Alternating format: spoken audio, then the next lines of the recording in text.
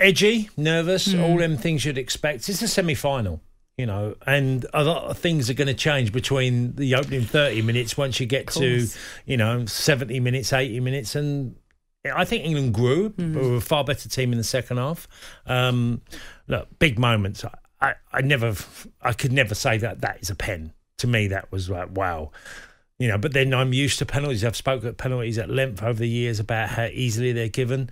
Um, it was, and you know, it was a it was such a close game that I think a lot of people didn't anticipate, including myself, of how much of a fight and how good Denmark were in the game.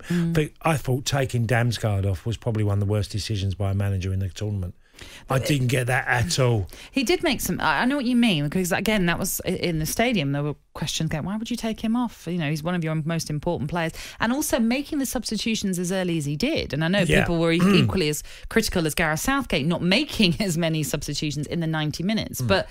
Obviously, it then led to, in the end, Denmark having to play the, the final sort With of half men, of yeah. the extra time, yeah, with the 10 men. Well, look, let's you know we- we've talked about this at length. England have got an incredible depth in their squad. Mm. Okay, now when you utilise them, and I think Gareth's timing obviously was perfect because. The substitutes for Denmark, substitutes, they weren't even comparison to how good England substitutions could be. So their squad has got them through the tournament. Something that Gareth has always talked about, that everybody involved is going to play their part and is going to be needed. And that proved to be true. You know, England's substitutions. Henderson come on. I thought he made a massive difference to England in midfield. Added far more. Was winning, biting tackles, making the play starting from him. And I, I thought he added to what you know. Rice had been tremendous all tournament. Uh, but I thought he ran out of gas towards the end of the the, the second half. And right, you know, look, some of these lads are just covering every blade of glass, uh, grass, and he, he certainly done that. And it's not only that. Maybe you can shed a bit more light into this because you know what it's like to play at these major tournaments. But the mental side of it, in terms of playing in, an, in a huge game. Now, obviously, with England trying to get to a final that they've not done for, since 1966 in that famous World Cup. How much does that play on your mind as a player? Can you block it out, or is it impossible to do that? No, not really. It's in your face every second of every day. There's, you know, once even if you go to your room and relax, just trying to, you know, we were told we couldn't receive phone calls from the reception.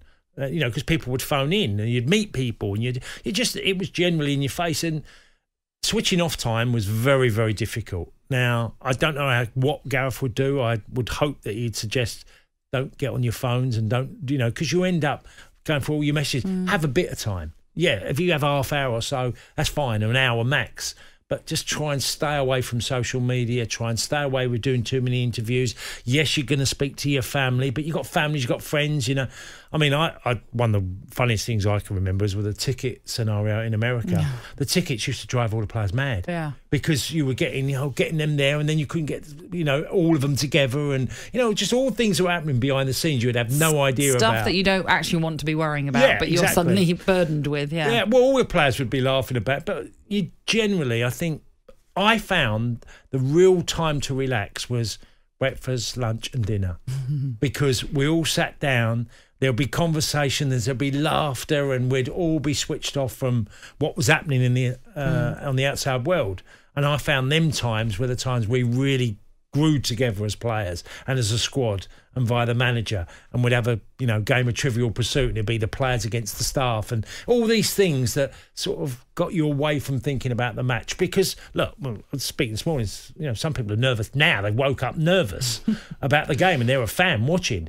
So you know imagine what a player is going to be like. It's it's in your face every second Which is which is why it's so nice to see these these pictures and the, the footage that we're seeing of the players enjoying time in the pool and Yeah. now we know all about these unicorn inflatables that they're all enjoying as well. Uh, but it's so important to have that sort of downtime, but in the sense of hoping that gives you that switch off that everyone needs when there's so much pressure put upon you. Yeah, and, and Gareth is is perfectly placed. Look, he's and we'll probably talk a lot about this over the weekend. But Gareth has done a lot of planning towards getting England into this position. This isn't just you know one thing. There's not you can't identify one thing he's done right. It's very complex, and there's many things you need to get in place. And one of them is the handling of a group in a major tournament. It's not easy. Sometimes it's rocky. Sometimes you get clicks. Sometimes you get like the French can do, implode within a squad. You know, things can de- develop. You just so you're you've got to be prepared for all these challenges. But he also selected, which is quite clear, a fantastic group with an incredible mentality. That is clear as night and day to me.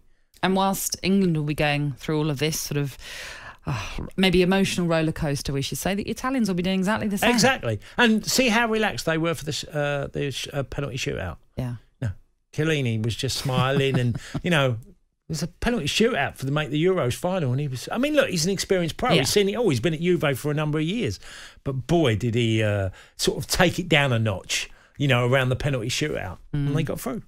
They did. And look, there, there is so much build up on the way here on Talk Sport. So this is the station for you to uh, listen in and get ready for what is a hugely important game. Game Day Breakfast with Natalie Sawyer and Tony Cascarino. Saturday mornings from 6 on AM, on DAB, via the TalkSport app, and on your smart speaker. TalkSport.